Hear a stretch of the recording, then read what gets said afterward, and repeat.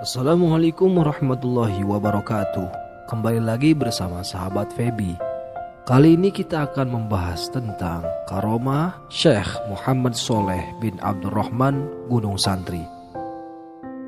Sebelum kita lanjutkan ke videonya Alangkah baiknya teman-teman tekan tombol like dan subscribe channel ini Agar tidak ketinggalan notifikasi video selanjutnya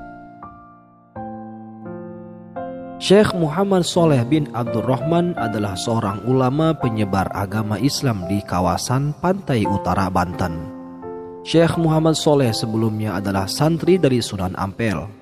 Setelah menimba ilmu dari Sunan Ampel, kemudian menimba ilmu dari Sunan Gunung Jati, yaitu ayahanda dari Sultan Hasanuddin dan Sultan Syarif Hidayatullah, yang pada masa itu menjadi penguasa Cirebon.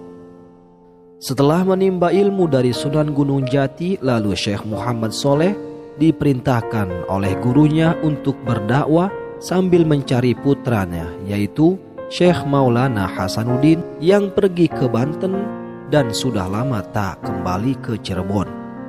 Kala itu Banten masih beragama Hindu dan masih di bawah kekuasaan kerajaan Pajajaran yang dipimpin oleh Prabu Pucuk Ulum dengan pusat pemerintahannya berada di Banten Girang. Akhirnya Syekh Muhammad Soleh pun bertemu Maulana Hasanuddin di Gunung Lempuyang dekat Kampung Merapit, Desa Ukir Sari, Kecamatan Bojonegara. Setelah bertemu Maulana Hasanuddin menolak untuk segera kembali ke Cirebon karena merasa terpanggil untuk mengislamkan Tatar Banten yang masih banyak memeluk agama Hindu. Syekh Muhammad Soleh pun akhirnya menetap di Gunung Santri yang merupakan salah satu bukit dan nama kampung di desa Bojonegara, Kecamatan Bojonegara, Kabupaten Serang, dan mulai berdakwah menemani Sultan Hasanuddin Banten.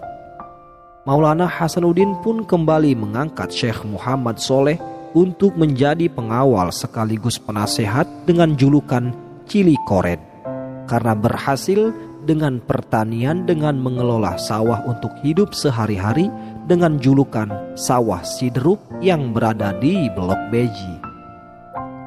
Namun syiar Islam yang dilakukan Maulana Hasanuddin mendapat tantangan dari Prabu Pucuk Umun sang penguasa kala itu yang semakin kehilangan pengaruh akibat masuknya ajaran Islam.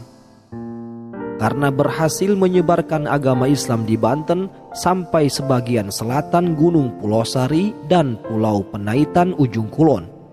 Prabu Pucuk Umun pun menantang Maulana Hasanuddin untuk bertarung dengan cara mengadu ayam jago dan sebagai taruhannya jika kalah akan dipotong lehernya. Tantangan Prabu Pucuk Umun pun lalu diterima oleh Maulana Hasanuddin. Setelah Maulana Hasanuddin bermusyawarah dengan pengawalnya yaitu Syekh Muhammad Soleh, akhirnya disepakati yang akan bertarung melawan Prabu Pucuk Umun adalah Syekh Muhammad Soleh yang bisa menyerupai bentuk ayam jago seperti halnya ayam jago biasa. Hal ini terjadi karena kekuasaan Allah Subhanahu wa taala. Pertarungan dua ayam jago tersebut berlangsung seru, namun akhirnya ayam jago milik Maulana Hasanuddin yang memenangkan pertarungan dan membawa ayam jago tersebut pulang ke rumahnya. Ayam jago tersebut berubah menjadi sosok Syekh Muhammad Soleh sekembalinya di rumah Sultan Maulana Hasanuddin. Akibat kekalaan adu ayam jago tersebut, Prabu Pucuk Umun pun tidak terima dan mengajak berperang Sultan Maulana Hasanuddin. Namun akhirnya pasukan Prabu Pucuk Umun pun dapat dikalahkan dalam perperangan dan mundur ke selatan bersembunyi di Padelaman Rangkas yang sekarang dikenal dengan suku Baduy. Setelah selesai mengemban tugas dari Sultan Maulana Hasanuddin, Syekh Muhammad Soleh pun kembali ke kediamannya di Gunung Santri dan melanjutkan aktivitasnya sebagai mubalik dan menyiarkan agama Islam kembali. Syekh Muhammad Soleh wafat pada usia 76 tahun dan berpesan kepada santrinya jika wafat dimakamkan di Gunung Santri. Di dekat makam beliau terdapat pengawal sekaligus santri Syekh Muhammad Soleh yaitu makam Malik Israel Ali Akbar yang setia menemani Syekh dalam menyiarkan agama Islam.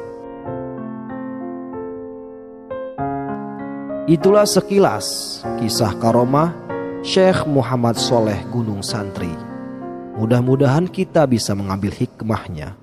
Wabillahi taufik wal hidayah. Wassalamualaikum warahmatullahi wabarakatuh.